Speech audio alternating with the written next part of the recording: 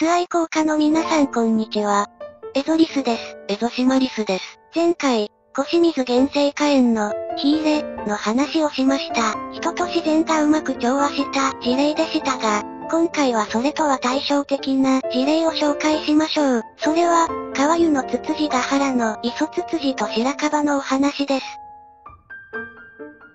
川湯を含む阿寒摩周国立公園は大雪山と同じく日本で最初に指定された国立公園の一つです。硫黄山周辺のツツジヶ原には磯ツツジの群落があって、6月7月には一斉に白い花を咲かせます。当時、硫黄採掘のための開発の恐れがありましたが、1954年にこの景観を守るため、一帯は特別保護地区に指定されました。そんなツツジヶ原に、ある懸念が持ち上がります。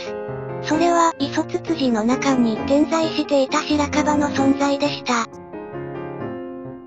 白樺が成長してしまうと、日陰ができて、磯ツツジが枯れてしまう恐れがあったのです。そのため、景観を守るために白樺を伐採しようという意見が出てきたのです。しかし特別保護地区は、原始の風景を維持するための区域です。人は一切手を加えるべきではない、という意見もありました。仮に白樺が成長して、磯ツツジが枯れたとしても、それも自然の成り行きだと、人の手を加えるべきか、加えないべきか、二つの意見の間でカンカンガクガクの論争が繰り広げられました。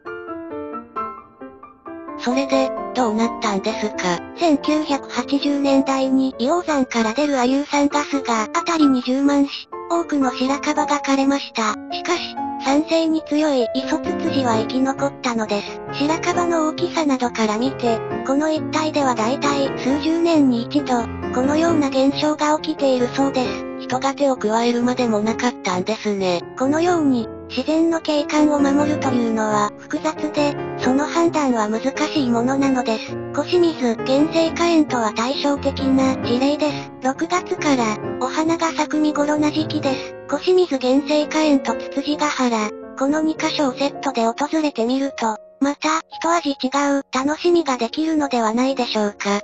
今回は以上です。ご視聴ありがとうございました。